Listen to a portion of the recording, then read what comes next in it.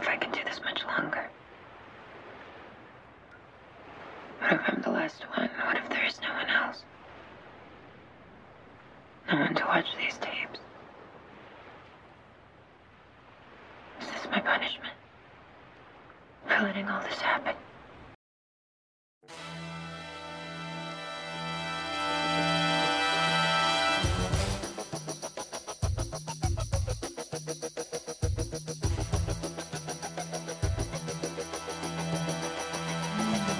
What is the ontology of the humanity of a film character? When they are on screen, are they living or dead, human or image? They walk a path predetermined by filmmaker and actor, but who controls what of that? The same dichotomy applies to Paul W.S. Anderson's film's conflicts. Consummate anti-structuralist, Anderson pits his little guy protagonists against powers that purport to control the space that imprisons them. The actor controls their own body, but the filmmaker controls their world. If powers corrupt, what is the morality here? Even as the character succeeds in overcoming their captors, they do so only by the will of their god. Anderson thus venerates what a filmmaker can't control, and imbues that which he does with self-critical coldness. Filmmaking is the murder of the living Dionysian so that it may be mummified. Film characters are inherently undead, like Anderson's Resident Evil zombies.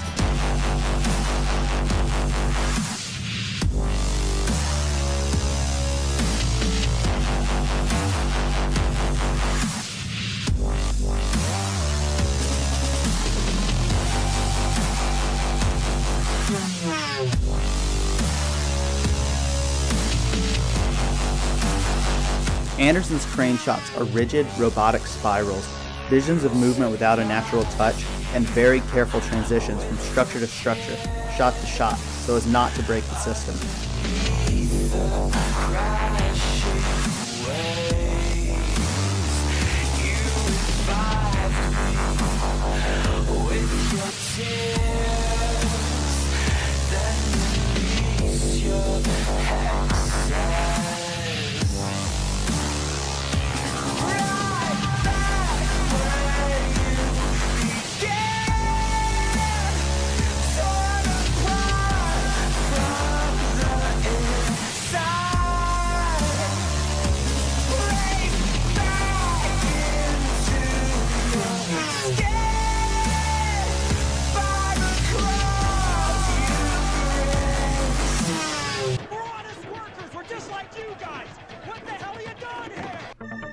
Imprisonment is a dominant theme in Anderson's filmography.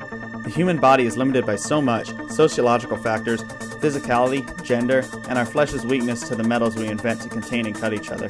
Anderson envisions these limitations as a constant, oppressive tragedy and seeks ways to allow the characters he himself imprisons freedom within his art prisons.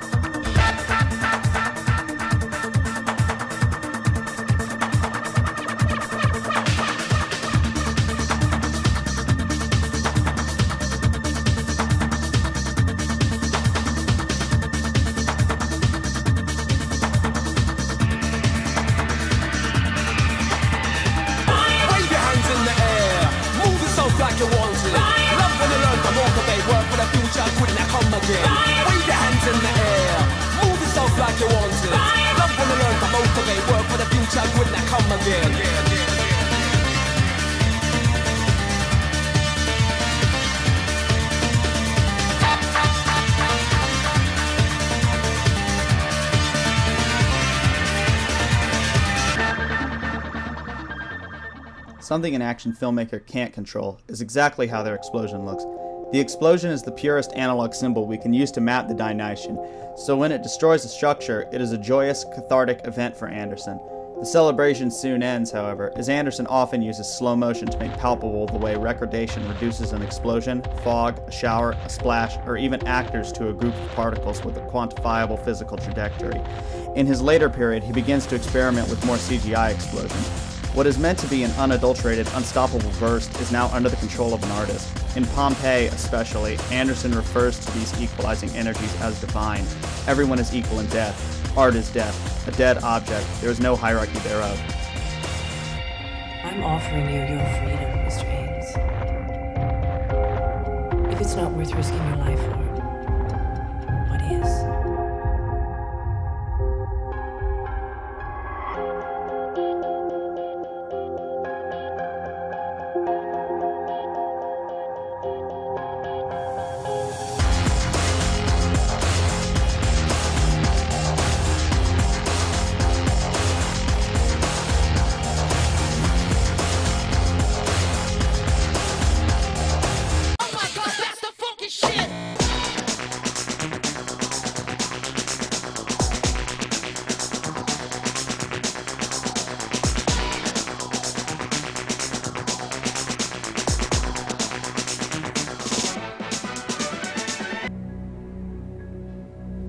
You to become Frankenstein.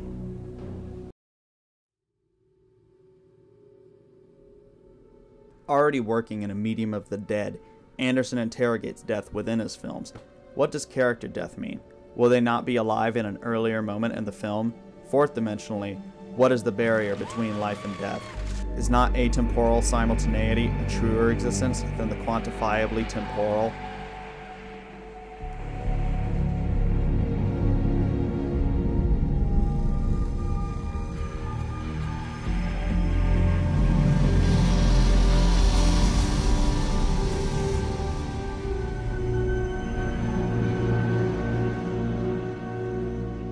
Wakey, wakey!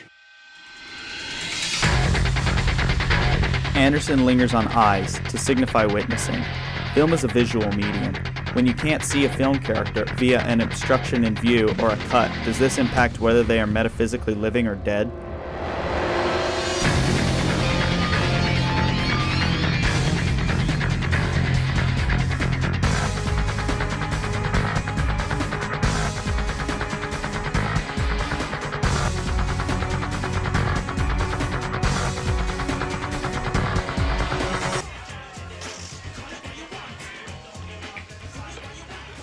Everyone gets to be on TV. Yeah. Anderson's technological transition from analog to digital filmmaking, beginning with Resident Evil Afterlife, was accompanied by a philosophical shift in his attitude towards visual recording.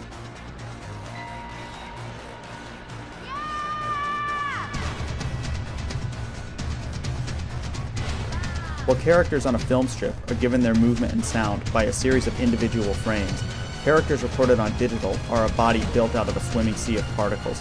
Film captures information linearly, but digital captures it all at once.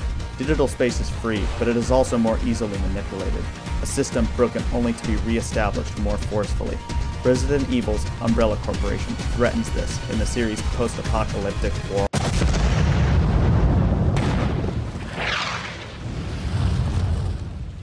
I love this game.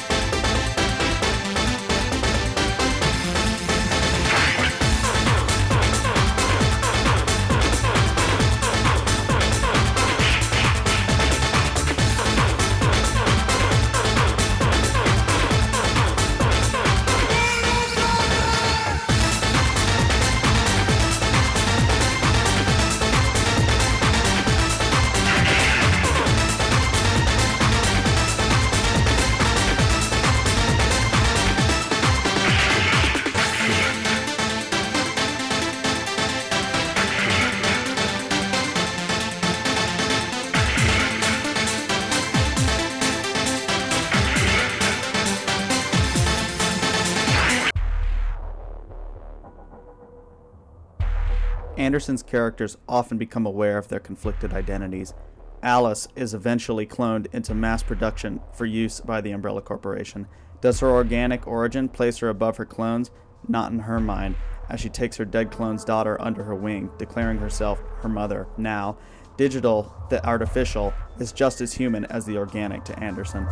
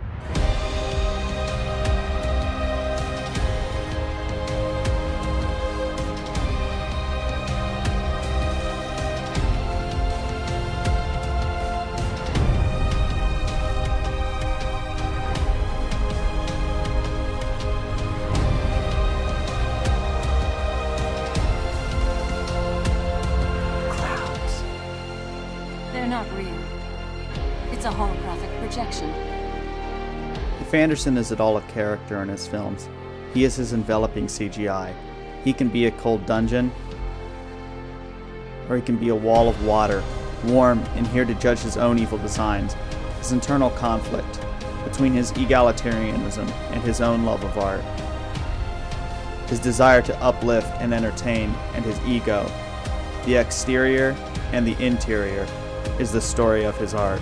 What a beautiful, poetic, human story it is.